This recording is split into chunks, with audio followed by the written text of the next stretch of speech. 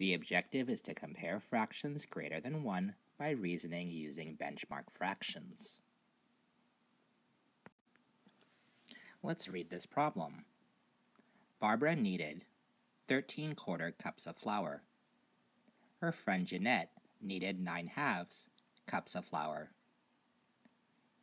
And her friend Robert needed 3 and 6 8 cups. Let's compare the amounts using a number line. Let's look at these numbers. We have 13 fourths, 9 halves, and 3 and 6 eighths. Now with 13 fourths, we know that 13 fourths as a mixed number, well, we count by 4 fourths. 4 fourths, 8 fourths, 12 fourths. And then it would be one more fourth to be equal to 13 fourths. 12 fourths is equal to 3, and we put it together with the 1 fourth to get 3 and 1 fourth. With 9 halves, 2 goes into 9 four whole times with that remainder of 1, so it's 4 and 1 half. If we were to decompose it, it would be 8 halves and 1 half. And 3 and 6 eighths actually is easy to see in that we would just have 3 wholes there, and then we'd also be talking about 6 eighths. So we'll leave that as a mixed number. So on our number line then, we have 3, we have a 4, and then we also have a 3. So we'll mark the whole numbers 3, 4, and then also 5. Let's place 3 and 1 fourth first. So in between 3 and 4, we'll break it apart into 4 parts there. We'll go ahead and mark 3 and 1 fourths, and then that there is Barbara's for Jeanette at 4 and 1 half, in between 4 and 5, sure. Just draw one line there, and then we can finish dividing that whole into four parts as well. For 3 and 6 eighths, 3 and 6 eighths actually is equal to 3 and 3 fourths. I can break it apart into eighths if you want to see that. And then we'd have 3, 1 eighth, 2 eighths, 3 eighths, 4 eighths, 5 eighths, 6 eighths. That is 3 and 6 eighths, which is um, Robert. So that's Robert. And we'll write that name in there. And we'll also write in the name for 4 and a half, who is Jeanette. And then so when we're comparing these ones here and placing them onto the number line, the smallest amount would be furthest to the left, Barbara's, and then it would be Robert's amount, and then it would be Jeanette's amount for the flour. So if we were to compare them, they would go within that order.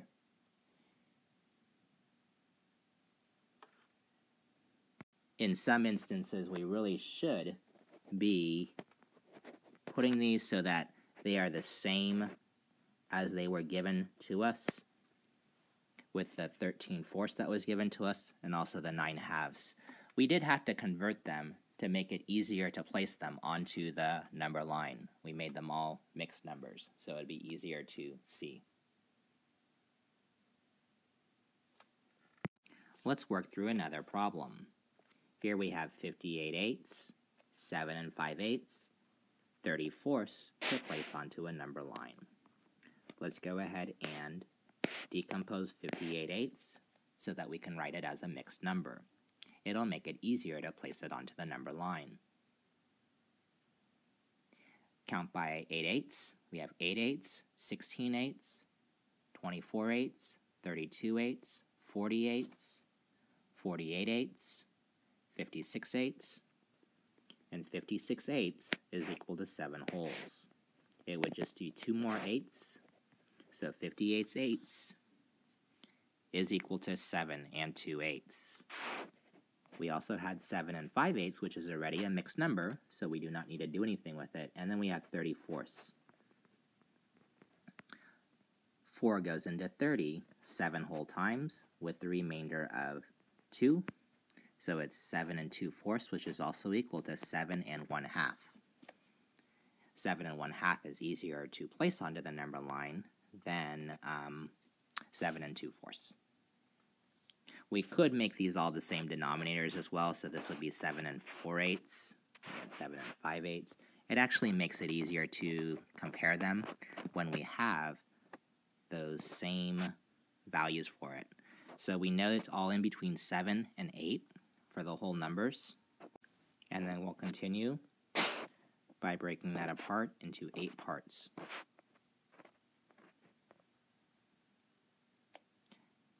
That's halfway in between is the 34ths, or the 7 and 1 half. We have 7 and 2 eighths right here, which was also equal to 58 eighths. And then the other one we had was 7 and 5 eighths. And 7 and 5 eighths was right here. So the order goes 58 eighths was less than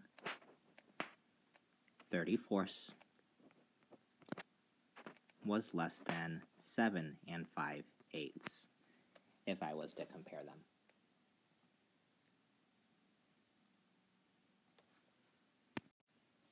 Would it be easy to compare these? You might answer no because the denominators are different. It also might be easier to compare them if they were mixed numbers. So let's do that. Let's go ahead and rewrite these as mixed numbers. Pause the video while you do your work. What did you rewrite these as mixed numbers as? Did you break them apart correctly? That 29 sevenths is 4 and 1 sevenths. 31 eighths is actually equal to 3. And 7 eighths. And then so, 4 and 1 sevenths is definitely bigger or larger so that 29 sevenths is bigger than 31 eighths. Read that comparison sentence with me again. 29 sevenths is greater than 31 eighths. Again, what we did there is that we compared them by putting them into mixed numbers. In some instances, it would also help to write them with a common denominator. In this case, we didn't have to because we already knew that 4 was bigger than the 3 here.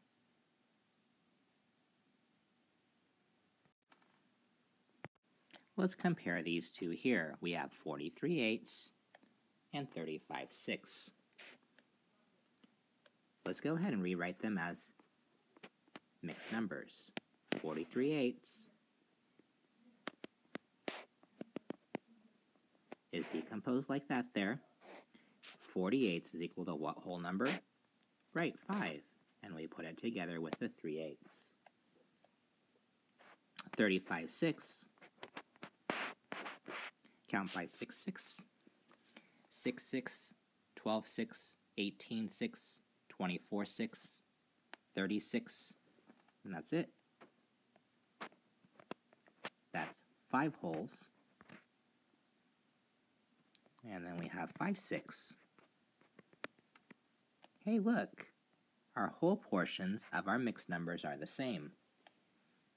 So then what we can do is we can just compare these two here.